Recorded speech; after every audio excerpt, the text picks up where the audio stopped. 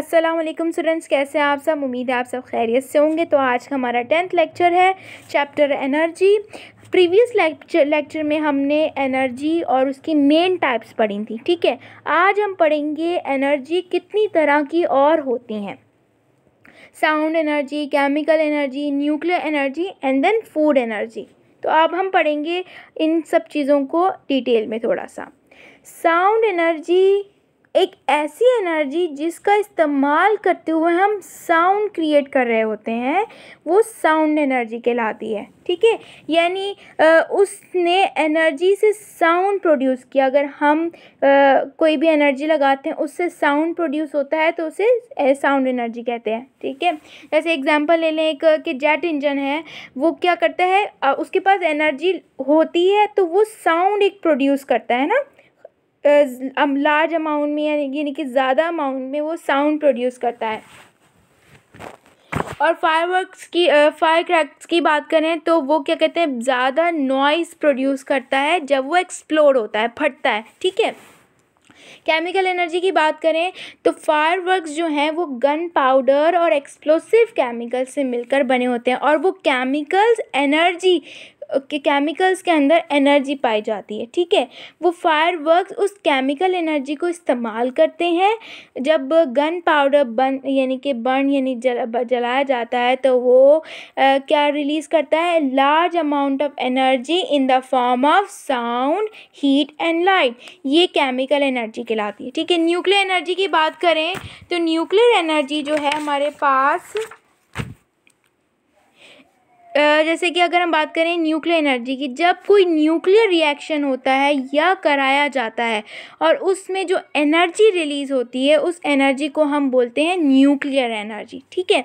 Nuclear energy की दो types होती हैं, एक न्यूक्लियर फिजन और एक होता है न्यूक्लियर फ्यूजन न्यूक्लियर फिजन एक ऐसी एनर्जी जब कोई हैवी एलिमेंट दो हल्के एलिमेंट में टूट जाता है और जो एनर्जी प्रोवाइड करता है, उसे कहते हैं हम न्यूक्लियर फिजन एक एग्जांपल ले लें एटम बॉम्ब ले लें, ठीक है?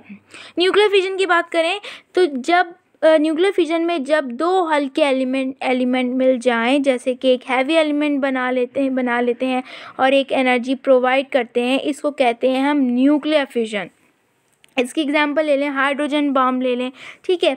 तो अब हम बात करते हैं फ़ूड एनर्जी की।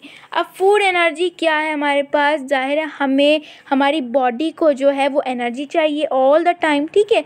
हमें एनर्जी काम करने के लिए, खेलने के लिए और हमें इवन विंटर्स में वार्म रहने के लिए, सोने के लिए, ठीक है? इन सब चीज़ों के लिए हमें एनर्जी चाहिए।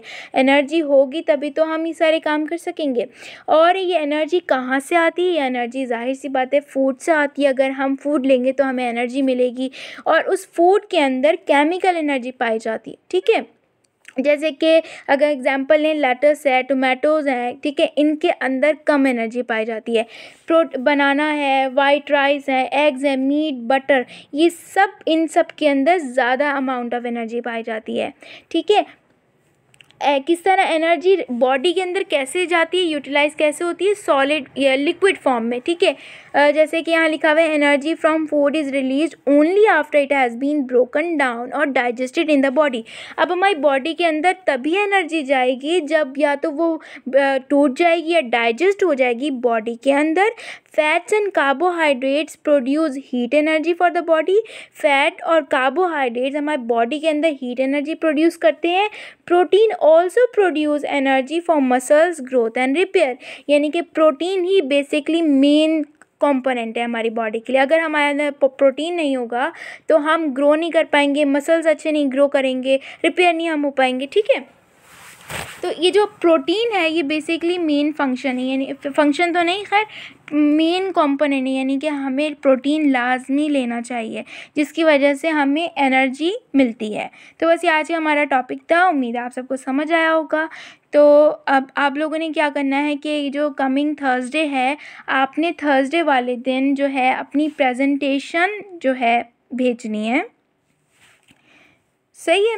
आपने कौन सी प्रेजेंटेशन भेजनी है अपने फ़र्स्ट चैप्टर की, जो हमने फ़र्स्ट चैप्टर पढ़ा है? ठीक है?